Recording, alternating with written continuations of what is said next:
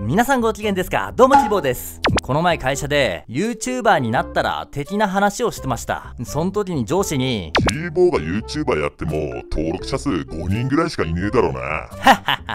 5万9000人に謝れ。というわけで今回はドラゴンクエストあるある行ってみたいと思います。この動画で1個でもああるあるって思ったそこのあなた。チャンネル登録高評価よろしくお願いします。それでは行ってみましょう。ポチッとな新しい村に着いたら買える装備全部揃えてから洞窟に行く。妥協はしない人ダンジョン内の宝箱を全部確認するまで次に進まない。取りこぼしは現金本編そっちのけでカジノに没頭。セーブカジノセーブの繰り返し。村人だと思ってたら戦闘。まだ宿屋止まってないのに仲間が増えるとテンション上がる。一気に冒険が楽しくなるよね。馬車から出ることなく世界が救われる。トルネコかな？ベホ意味覚えたあたりから薬草が5ミリ壺とかでいっぱい手に入んだよな。高い装備買った後すぐに宝箱で同じのが見つかる。頑張ってお金貯めたのに。パフパフに過度な期待をしてしまう。がっかりするだけ。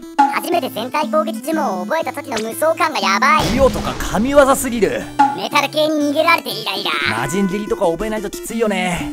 負けイベントで粘る。絶対勝てないのに。人の家に勝手に上がり込んでタンスから物を盗む。良い子は現実の世界では絶対真似しないように。人を生き返らせるのも金次第。貧乏人に生きる価値はない世界です。仲間になったスライム弱いけど育てちゃう。可愛いから連れて歩きたくなっちゃうんだよなやけになったらデスルーラー。無茶しすぎた結果です。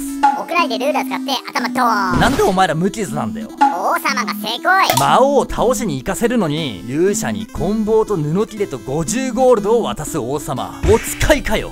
一時的に仲間になるキャラの頼もしさは異常。この間にレベル上げ頑張りたくなる。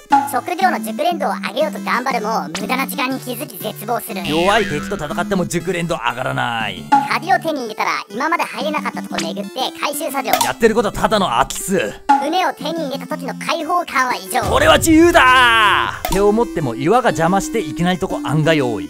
迷わずフローラ選ぶやつは鬼畜。山田さんもブチ切れてます